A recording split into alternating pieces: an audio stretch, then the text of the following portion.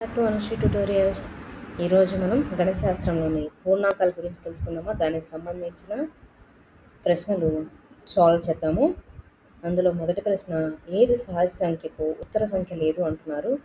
దానికి సరైన సమాధానం వచ్చేసి చెప్పలేను ఏ సహజ సంఖ్యకు పూర్వ సంఖ్య లేదు అంటున్నారు. దానికి సరైన సమాధానం వచ్చేసి ఒకటి. కనిష్ట పూర్ణాంకం ఏంటి అన్ కనిష్ట పూర్ణాంకం ఏది అంటున్నారు? దానికి సరైన సమాధానం వచ్చేసి సున్నా. ఇరవై ఏడు మరియు నలభై ఆరుల మధ్య ఎన్ని పూర్ణాంకాలు ఉంటాయి అంటున్నారు? దానికి సరైన సమాధానం వచ్చేసి పంతొమ్మిది. ఎనిమిది వందల తొంభై ఐదు అన్న పూర్ణానికి రెండు వందల ముప్పై తొమ్మిది సంఖ్యారేఖపై ఏ వైపున ఉంటుంది అంటున్నారు? దానికి సరైన సమాధానం వచ్చేసి రెండు ఎడమ వైపున రెండు పూర్ణాంకాల మొత్తం ఎల్లప్పుడూ ఏమవుతుంది అంటున్నారు. దానికి సరైన సమాధానం వచ్చేసి పూర్ణాంకం అవుతుంది ఈ క్రింది వాటిలో పూర్ణాంకాలు వేటి దృష్ట్యా సంవృత్త ధర్మాన్ని పాటించును అంటున్నారు. దానికి సరైన సమాధానం వచ్చేసి ఒకటి రెండు. అంటే సంకలనం మరియు గుణాకారం. ఈ క్రింది వాటిలో సంకలనం దృష్ట్యా గుణాకార విభాగ న్యాయం ఏంటి అంటున్నారు. దానికి సరైన సమాధానం వచ్చి పైవన్నీ అండి ఈ క్రింది వాటిలో సంకలన తత్సమాంసం ఏంటి అంటున్నారు. దానికి సరైన సమాధానం వచ్చేసి రెండు. ఈ క్రింది వాటిలో గుణాకార తత్సమాంసం ఏంటి అంటున్నారు. దానికి సరైన సమాధానం వచ్చేసి ఒకటి. A plus zero equal to zero plus A అనున్నతి ఏంటి అంటున్నారు? దానికి సరైన సమాధానం వచ్చేసి సంకలన తత్సమాంసం ముప్పై ఎనిమిది ఎనభై మూడు. దానికి కింద ఏ అంటే ఈక్వల్ వాడాలా? గ్రేటర్ దెన్నా లెస్ దెన్నా అలా ఏ సింబల్ పెట్టాలి అని అంటున్నారు. దానికి సరైన సమాధానం వచ్చేసి మూడు. A into B equal to C అయితే B into A equal to C అవుతుంది. అయినా ఇది ఏ ధర్మం అని అడుగుతున్నారు? దానికి సరైన ధర్మం వచ్చేసి సంవృత్త ధర్మం.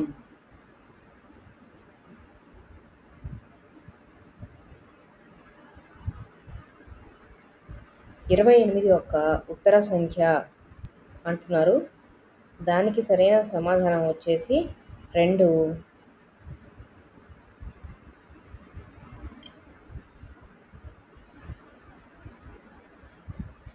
ఉత్తర సంఖ్య అంటేనే తర్వాత వచ్చే సంఖ్య అండి.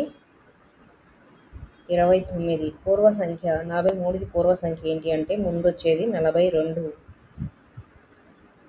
పూర్ణాంకాల సమితి ఈ అక్షరంతో సూచిస్తారు అంటున్నారు. ఏ అక్షరంతో సూచిస్తారు అంటే డబ్ల్యూ టూ.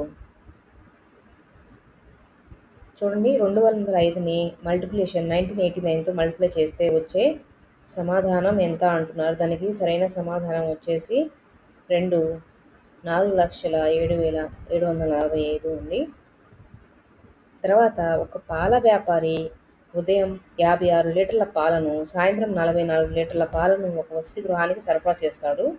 ఒక లీటర్ పాల ధర వచ్చేసి యాభై రూపాయలు. అయితే అతనికి రోజులో ఎంత డబ్బు వస్తుంది అంటున్నారు? దానికి సరైన సమాధానం వచ్చేసి మూడు రోజుకి ఐదు వేలు వస్తుంది. ఇక్కడ స్టేట్మెంట్స్ ఇచ్చారండి. దానికి సరైన సమాధానం ఏంటంటే రెండు. ఏ బి రెండు స్టేట్మెంట్స్ కూడా సరైనవే. తర్వాత చందన వేణులు వరుసగా పన్నెండు నోట్ పుస్తకాలు పది నోట్ బుక్స్ పుస్తకాలు కొన్నారు. ఒక నోట్ పుస్తకం ధర పదిహేను రూపాయలు అయితే దుకాణదారునికి ఎంత డబ్బు ఇవ్వాలి అంటున్నారు? వేణు నూట యాభై. అలాగే తను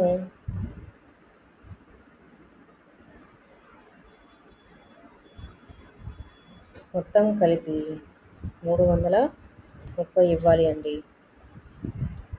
ఎందుకంటే పది నోటు పుస్తకాలు పదిహేను రూ ఒక్కొక్క నోటు పుస్తకం పదిహేను రూపాయలు అయితే వన్ ఫిఫ్టీ అవుతుంది కదా. అలాగే వన్ ఫిఫ్టీ ప్లస్ థర్టీ ఎంత అవుతుంది? One eighty. One eighty plus one fifty. Add చేస్తే వచ్చేది త్రీ థర్టీ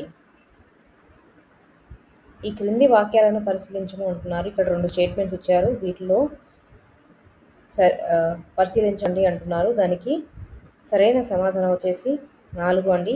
ఏబిల్ రెండు కూడా సరికానివి. క్రింది వాటిలో పూర్ణాంకాలకు పూర్వ సంఖ్యలు ఉన్నవి. దానికి సరైన సమాధానం వచ్చేసేసి నాలుగు. ఒకటి రెండు. గంగాధర్ వెంకట్లు వరుసగా ఇరవై రెండు నోట్ పుస్తకాలు పద్దెనిమిది నోట్ పుస్తకాలు కొన్నారండి. ఒక్కొక్క నోట్ పుస్తకం ధర పదమూడు రూపాయలు. అయితే మొత్తం ఎంత డబ్బు చెల్లించాలి అంటున్నారు? మనం ఇంతకు ముందు ఒక ప్రశ్న చేసాం కదండి. అలాగే ఇది కూడా చేస్తే దానికి సరైన సమాధానం వచ్చేసి ఒకటి అండి. ఐదు వందల ఇరవై రూపాయలు. తర్వాత నూట నలభై రెండు రెండు వందల ఇరవై ఆరు ల యొక్క ఉత్తర సంఖ్యలను పూర్వ సంఖ్యలను రాయండి అంటున్నారు. దానికి ముందు నూట నలభై రెండుకి ఉత్తర సంఖ్య రాయాలి. అంటే నూట నలభై మూడు. తర్వాత రెండు వందల ఇరవై ఆరుకి పూర్వ సంఖ్య అంటున్నారు. పూర్వ సంఖ్య అండి రెండు వందల ఇరవై ఐదు. ఏ- దేనిలో అయితే వచ్చిందో ఈ సమాధానం? అదే సరైన సమాధానం అండి.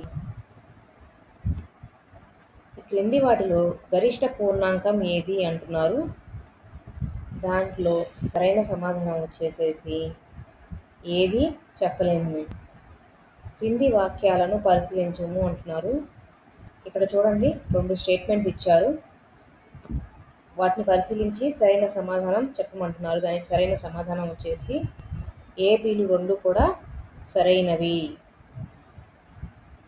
తర్వాత A into B equal to B into A అయినా దీన్ని ఏమంటారు అంటున్నారు? ఇక్కడ ధర్మాలు ఇచ్చారు. వీటిలో సరైనవి ఏంటి చెప్పాలి మనం. సరైన సమాధానం వచ్చేసి బి సి స్థిత్యంతర ధర్మం వినిమయ ధర్మం అనేవి సరైన సమాధానం ఈ కింది వాక్యాలను పరిశీలించము అంటున్నారు. ఇక్కడ నాలుగు స్టేట్మెంట్స్ ఇచ్చారండి. ఆ నాలుగిటికి సరైన సమాధానం వచ్చేసేసి ఏంటి అంటే నాలుగోదండి ఏ సరైనవే?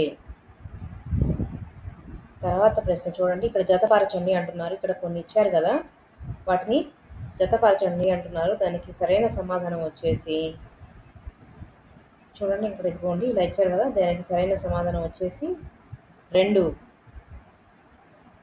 ఒకటి సి రెండు ఈ బి మూడు నాలుగు ఏ ఐదు డి అండి. సరైన సమాధానాలు వచ్చి మళ్ళీ ఇక్కడ కూడా జతపరచుము అంటున్నారు. ఇక్కడ జతపరచడానికి సరైన సమాధానం వచ్చేసి నాలుగు అండి.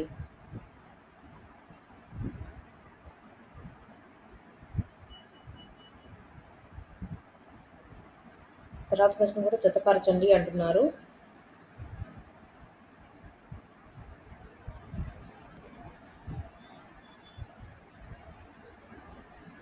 దీనికి జతపరచడానికి సరైన సమాధానం వచ్చేసేసి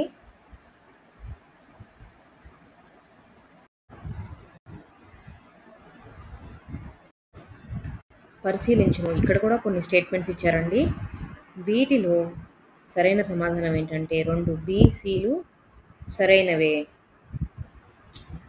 తర్వాత ప్రశ్న ఒక పాల వ్యాపారి ఉదయం ఇరవై ఎనిమిది లీటర్ల పాలను సాయంత్రం ముప్పై మూడు లీటర్ల పాలను ఒక వస్తువు సరఫరా చేశాడు. పాల ధర లీటరు ముప్పై ఎనిమిది రూపాయలు అయితే అతనికి రోజుకి ఎంత డబ్బు వస్తుంది అంటున్నారు.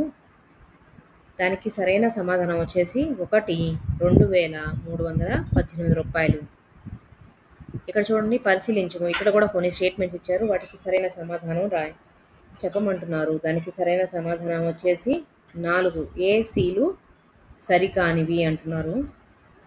తర్వాత ప్రశ్న పరిశీలించండి. ఇక్కడ కూడా కొన్ని స్టేట్మెంట్స్ ఇచ్చారు. దానికి ఏంటి అంటే సరైన సమాధానం వచ్చేసి